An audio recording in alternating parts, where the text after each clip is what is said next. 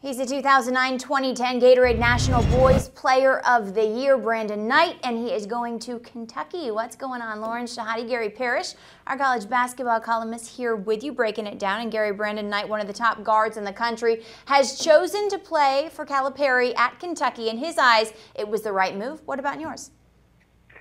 You know, it's hard to argue against it at this point. I mean, let's look at what's happened over the past few years. Derrick Rose plays point guard for John Calipari. He's the number one pick in the draft. Tyreke Evans plays point guard for John Calipari. He's a top five pick. John Wall plays point guard for John Calipari. He will be the number one pick in this draft. So um, if the sales pitch is, listen, you come play for me, you'll play point guard for me, you'll be a one and done guy and a guaranteed top five pick. It's happened three straight years, and I don't see any reason why it wouldn't, why it wouldn't happen with Brandon Knight. And uh, you know, again, Brandon had a lot of opportunities on the table. He could have gone and played uh, practically anywhere, but uh, playing point guard for John Calipari has been a uh, uh, there's a trend that's developed. It, it will get you to the NBA and it will get you there quickly. And uh, I think Brandon will be the fourth in a row. You say he could have gone anywhere. He's a South Florida guy, and he definitely could have gone to Gainesville for the Florida Gators. Why didn't they close that deal? You know, I, I think it's it's been this it's been headed this direction for a long time. I wrote even last summer that you know uh, Knight would eventually uh, be with Kentucky, and you know, I've had conversations with John Calipari, not specifically about Brandon Knight, but about being able to look at a kid and his parents and tell them, listen, uh, look at you know, look at where Derrick Rose is now. Look at where Tyreke Evans is now. Look at where John Wall is going to be. This is not an accident. I'm not going to hold your kid back. I'm not going to try to say that he needs to develop. Your kid's good enough to be a pro. Under the current system, he needs to go to college for a year because he can't enter the draft now. My my history suggests that I'm not going to screw this up. Ask Tyreke Evans if I screwed it up. Ask John Wall if I screwed it up. Ask Derrick Rose if I screwed it up. If you want to guarantee that your kid's a millionaire and in the NBA 12 months from now, I'm the guy to play for. Now, the argument against that, if you're Billy Donovan, is listen, uh, John Wall, Tyreke Evans, and Derrick Rose could have played at Penn State, and they would have been one-year uh, college players and, and lottery picks. Um, but again, you sell what you can sell, and, and John Calipari has done a, a really good job of selling this, and it, it seems to be working. Would this not have happened if John Wall had not left to the NBA? That spot wouldn't have been there for him to be the star, Gary. Oh yeah, I, I think if Wall would have been there, then yeah, Knight would have probably looked elsewhere. But Wall was never going to be there, and it, just as Tyreke Evans was never going to be there for John Wall, just as Derrick Rose was never going to be there for Tyreke Evans. I mean, this is you know, uh, Cal has his flaws. There are no question, and they've been well documented.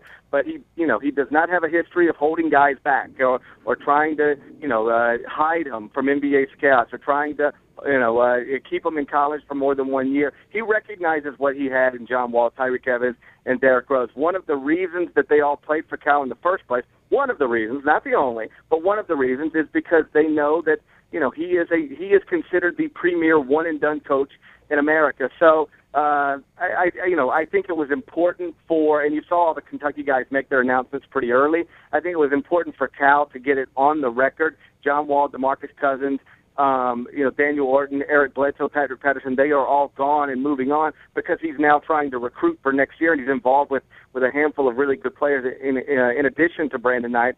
Uh, but again, I don't think. That, I don't think that ever really entered the conversation because nobody um, ever assumed John Wall would be a sophomore in college.